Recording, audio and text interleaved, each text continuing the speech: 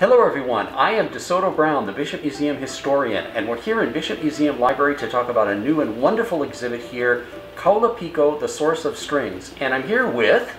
Kilin Reece. I'm a luthier and president of the Kealakai Center for Pacific Strings. And Kilin and I were the co-curators of this exhibit. So Kilin, get us started. What is the most amazing and wonderful revelation that people will get from this exhibit? This exhibition is a celebration of Hawaiian music.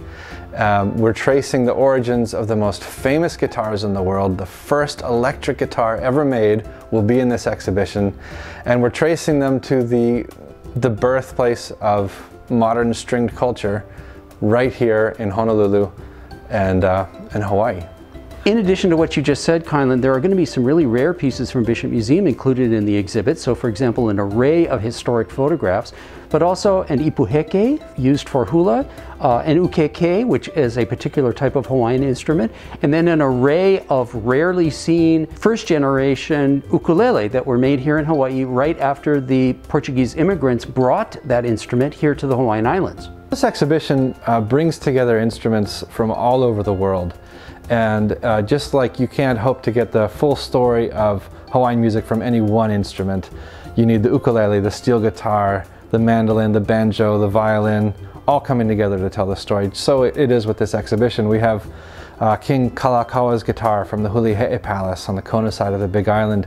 We have the first ever um, Hawaiian lap steel guitar from a collector in the continental United States. And what's special to me is the namesake of our nonprofit, Mekia Kealakai, the Martin Guitar Company has recreated the very first jumbo acoustic guitar that they made for him in 1915 just for this exhibition. So when people come to the exhibit, it isn't just a matter of standing and looking at instruments or looking at photographs.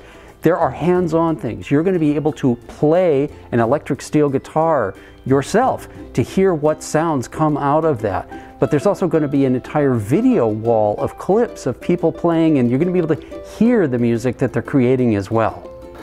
DeSoto, the video wall is really exciting and I'm very happy that we're featuring footage from an upcoming documentary film we're producing uh, featuring uh, people like Kavika Kahiapo playing Gabby Pahinui's old Martin guitar.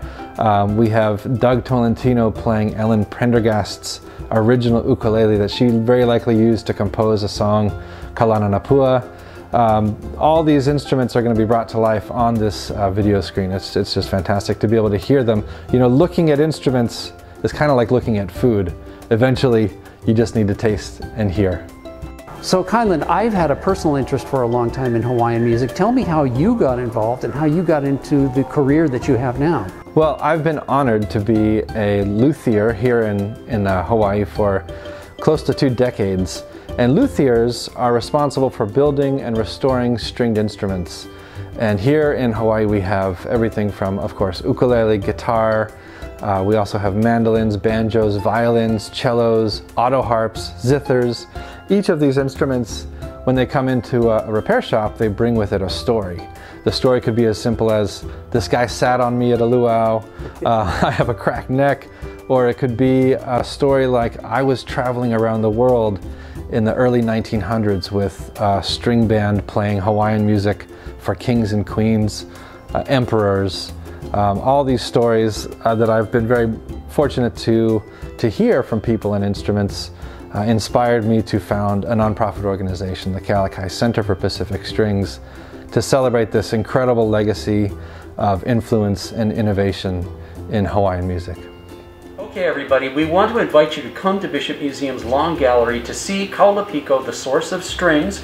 For more information, come to bishopmuseum.org forward slash Kaula Piko to find out more. And we hope to see you at this wonderful exhibit.